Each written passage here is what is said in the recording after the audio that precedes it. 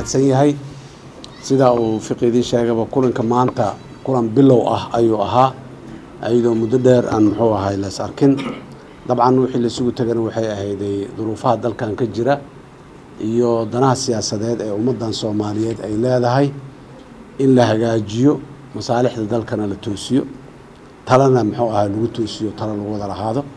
Madaxweyne waa na soo dhoweeyey gurigiisuu nagu qaabilay guud ahaan qodobadii aan soo qaadnay sida la sheegay bilaaw ay ahayday shir horudhaca oo bilaaw ah oo mustaqbalka soo socdana shirar badan. Inay ku soo xigi doonaan aan rajeynayno ayuu ahaa. Qodobadii madaxweynaha aan isku soo qaadnay iyo wixii aan ka wada hadalnay way dheeraayeen waana badnaayeen. Laakiin waxaan rabaa inaan ku soo koobo kuwoodii ugu muhiimsanaay oo maxaanku idhaahday ummadda soomaaliyeedna ay u dhaga taagayso kana mid ah muxuu ahay waxyaabaha hortabinta leh oo u baahan in maxaanku idhaahday si fiican ay dalkan ugu hagaago.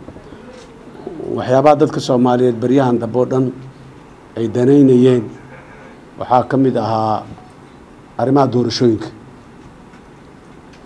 Arrimaha doorashooyinka madaxweynaha isla soo qaadnay wakti badan aan gelinay si fiican aan uga hadalnay waxaanan isla soo dhoweynay in dalkaani doorasho ka dhacdo waktigeedii ka dhacdo extension ama kororsiimo hay'adaha dastuuriga ah aanay jirin doorashaduna ay ka wada qeyb galaan oo la doorto dhammaan hay'adaha dastuuriga ah ee talada dalka ku jooga doorasho la soo doortay.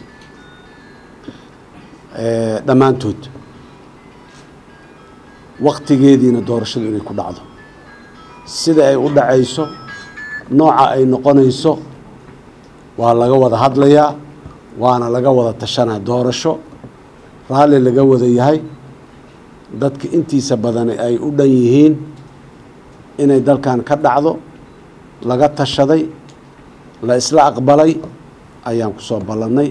Qodobkaas madaxweynaha waa iska afgaranay. Wixii farsamo ah oo say u taallaa iyo sidey u soconay iyo sidey tahay sidee sidee sidee waa arrimo muxuu ahay dib aada looga lafaguri doono oo looga hadli doono. Waxaa kaloo aan madaxweynaha la soo qaadnay wixii khilaafaad iyo madmadow ee mugdi ee jiro oo dhan in wadahadal lagu dhammeeyo si gaara arrimaha dowlad goboleedyada qaarkood in laga wada hadlo lana dhammeeyo mustaqbalka haddii aan la yidhaahdo arrinta ku saabsan ilaalinta dastuurka iyo xuquuqda muwaadiniinta mabda ahaan ayadana sidoo kale madaxweynaha isla garanay dastuurka jamhuuriyadda in la ilaaliyo dowladdu ay ilaaliso annaga siyaasiyiinteenna iyo shacabkuna ay dhinacooda ka ilaaliyaan ayagana dastuurka waxa uu farayana ay ay dhowraan. Arrimaha ammaanka aada iyo aada ayay muhiim u ahaayeen waayadana wax waqti badan aan gelinay waxaan isla afgaranay isku isla garanay amniga inaan la siyaasadaynin.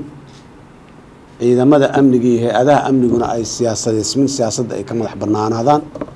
Siyaasad aan loo isticmaalin.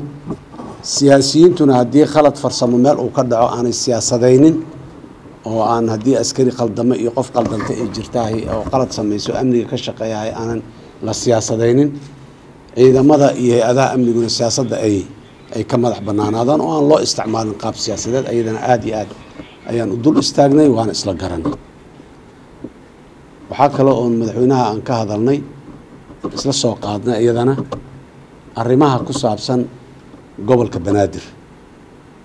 Gobolka banaadir iyo dadka ku nool in duruufahooda dowladdu ay wax ka beddesho la hagaajiyo la qurxiyo maxaanku idhahda aadna looga wada hadlo sida ay muxuu ahay ku fuli karaan.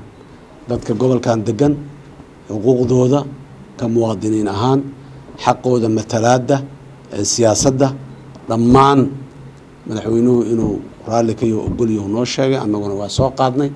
Wixii farsamo ah iyo sida ay wax u dhacayaan iyo sida ay ku suurtogelayso iyo waqtiyada ay boos suurtagalka ay waxaasoo dhan kala dhici karaan intaba waa arrimo farsamo oo mustaqbalka iyo shirarka dambe iyo kooxo farsamooyin ah ay ka shaqayn doonaan ayadana.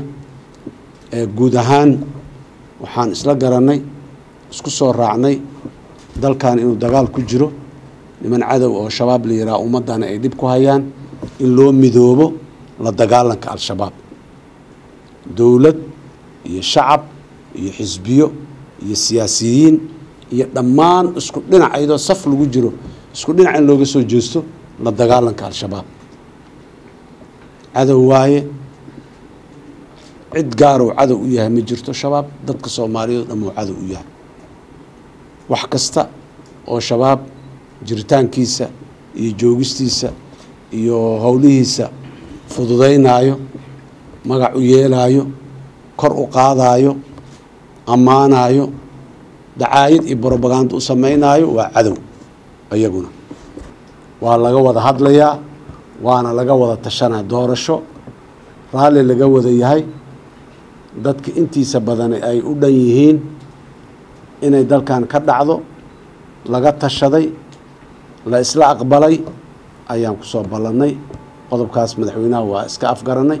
Wixii farsamo ah oo say u taallaa iyo sidey u soconay iyo sidey tahay sidee sidee sidee waa arrimo muxuu ahay dib aada looga lafaguri doono oo looga hadli doono waxaa kaloo madaxweynaha la soo qaadnay wixii khilaafaad iyo madmadow ee mugdi ee jiro oo dhan in wadahadal lagu dhammeeyo si gaara arrimaha dowlad goboleedyada qaarkood in laga wada hadlo lana dhammeeyo mustaqbalka haddii aan la yidhaahdo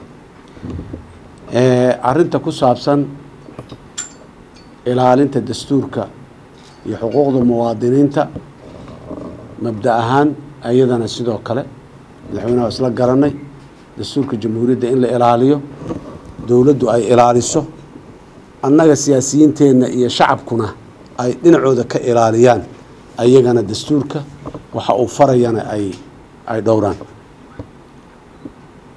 Arrimaha ammaanka aada iyo aada ayay muhiim u ahaayeen.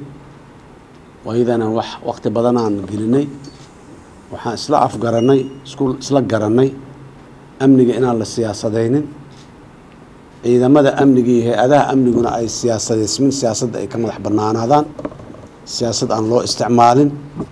Siyaasiyiintuna haddii khalad farsamo meel uu ka dhaco aanay siyaasadaynin oo aan haddii askari qaldamo iyo qof qaldanta ay jirtaahay oo qalad samayso amniga ka shaqeeyahay aanan la siyaasadaynin.